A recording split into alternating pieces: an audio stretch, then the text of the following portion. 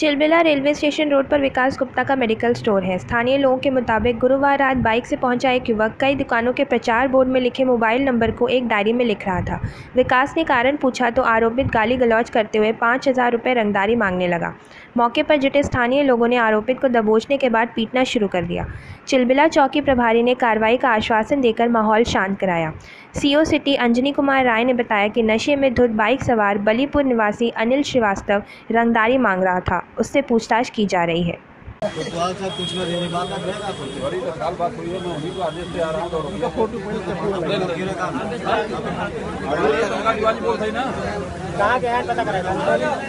जानते पाँच लोग मोबाइल पाँच साल शुरू आप पाँच लोग मोड़ के हमारे प्रतापगढ़ में लूट के वांछित आरोपी को पकड़ने गई जेठवारा पुलिस पर गाँव वालों ने ईट पत्थर व लाठियों से हमला कर दिया। जेठवारा पुलिस क्षेत्र के पतुलकी सराय मकई निवासी आरोपी को पकड़ने गुरुवार दोपहर गाँव गई थी। इस दौरान करीब 250 ग्रामीणों ने पुलिस टीम पर पथराव शुरू कर दिया। पुलिस वालों का आरोप है कि ग्रामीणों की ओर से फायरिंग भी की गई। पथराव में दरोगा अजय घायल हो गए। आरोपी मौके का फ़ायदा उठाकर फरार हो गया। जेठवारा पुलिस भी मौके से जान बचाकर भागी। घटना की सूचना मिलते ही महकमे में हड़कंप मच गया। लालगंज के सीओ ओपी दुबे, महेशगंज व लालगंज थाने की फोर्स लेकर गाँव पहुँचे और भीड़ को खदेड़ कर तलाशी ली, पर वह हाथ नहीं आया। पुलिस ने शाम पाँच बजे दोबारा भी छापा मारा, पर वसीम नहीं मिला। जेठवाड़ा थानाध्यक्ष मनीष पांडे का कहना था कि आरोपी को बचाने के लिए भीड़ ने पुलिस पर पथराव व फायरिंग की।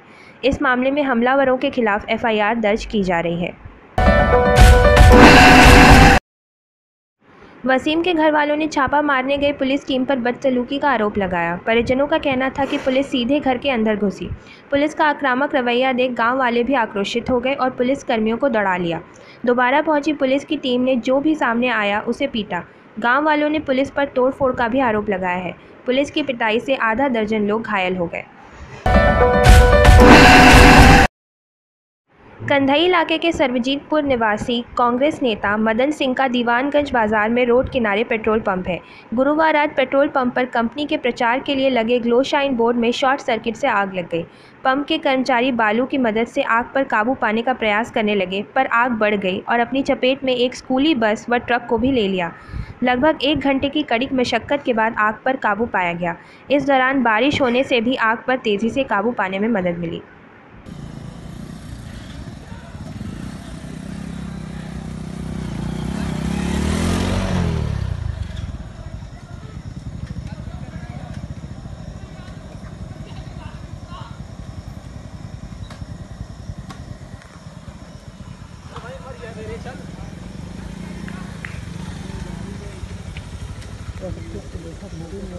बाप रे बाप। यार, कैसे लगा? हम तो वहीं देखा थे ला घूँगा फेंका तारा बोलता ही नहीं यहाँ के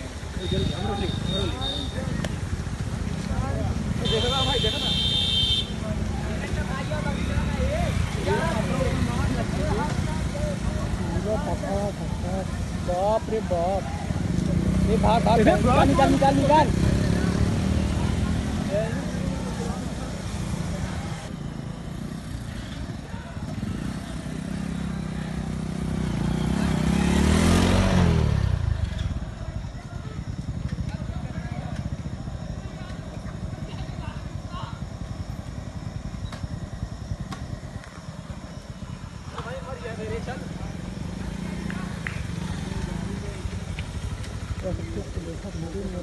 बाप रे बाप। यार, कैसे लगा? हम तो वहीं देखा थे ला घूँगा फेंका तारा बोलता ही नहीं यहाँ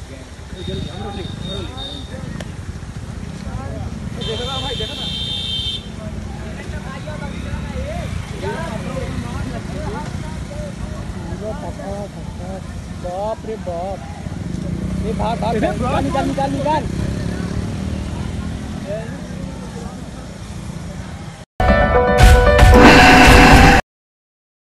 अपराधियों के खिलाफ आईजी मोहित अग्रवाल के नेतृत्व में अभियान चला रही प्रतापगढ़ पुलिस अब तक की सफलता से खासी उत्साहित है। अब तक पुलिस जनता से मिली सूचना पर 30 से अधिक चोरी की बाइकें 10 से अधिक पिस्टल व 20 से अधिक तमंचे बरामद कर कई शातिरों को गिरफ़्तार कर चुकी है। इसे देखते हुए पुलिस ने मुनादी के शब्दों में परिवर्तन करने के साथ ही इसका दायरा भी बढ़ाने का निर्णय किया है। एसपी देवरंजन वर्मा ने बताया कि 20 थाना इलाकों में चार प्रकार की मुनादी की जाएगी। इसमें अब छः महीने के भीतर घोषित जिला बदर, इनामिया अपराधी, फरार अभियुक्त और कोर्ट से गैर जमानती वारंट वाले अपराधियों के खिलाफ सूचना देने की बात की जाएगी। पुलिस ने अब चोरी का माल छिपाने, अवैध हथियार छिपाने व अपराधियों को शरण देने के जुर्म में परिवार वालों को गिरफ़्तार करने के अपने शब्दों में परिवर्तन कर दिया है। पुलिस अब मुनादी में ऐलान कर रही है कि अपराधियों के मददगारों को पकड़ा जाएगा। इसमें परिवार सहित सभी लोग शामिल होंगे। तो अगर कोई भी कट्टा मुंगेर की पिस्टल अवैध असलहे या चोरी की गाड़ी के साथ पकड़ा गया तो पुलिस उसके अपराध में जितने भी मददगार हैं उन सभी के खिलाफ कठोर कार्रवाई करेगी कट्टा मुंगेर की पिस्टल अवैध असलहे या चोरी की गाड़ी की सूचना पुलिस को दीजिए और अपराधियों को पकड़ने में पुलिस की मदद कीजिए सही सूचना देने वाले का नाम गोपनीय रखा जाएगा और उसको पुलिस की तरफ़ से इनाम भी दिया जाएगा सुनो सुनो सुनो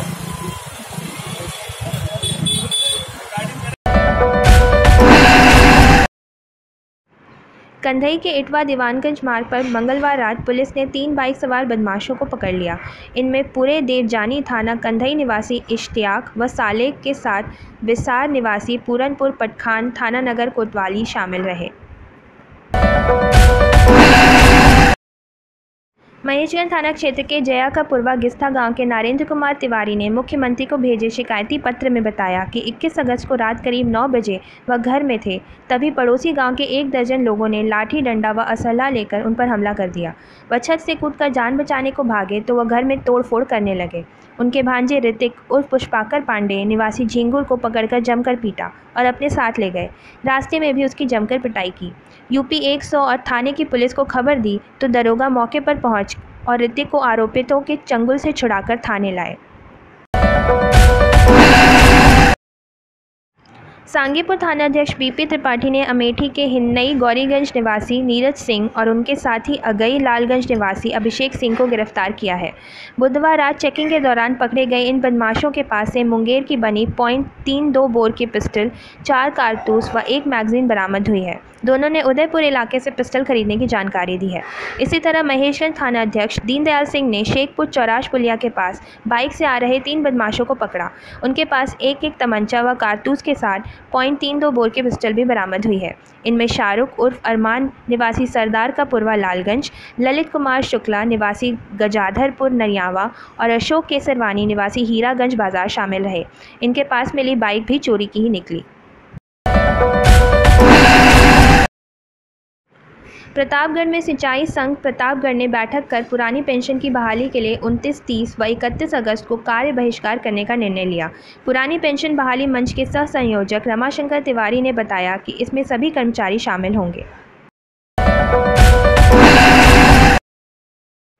प्रदेश सरकार ने राज्य के कुल 117 तहसीलदारों की डिप्टी कलेक्टर पद पर पदोन्नति दी है। इसमें प्रतापगढ़ में तैनात रहे चार तहसीलदार भी शामिल हैं। तहसील लालगंज के तहसीलदार दिनेश कुमार मिश्रा को ज़िले में ही डिप्टी कलेक्टर पद पर पदोन्नत किया जाएगा।